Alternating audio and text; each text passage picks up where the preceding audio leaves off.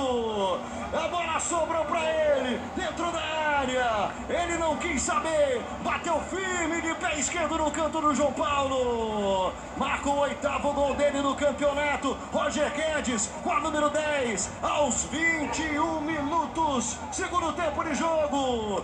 Dois para o Corinthians, um para o Santos.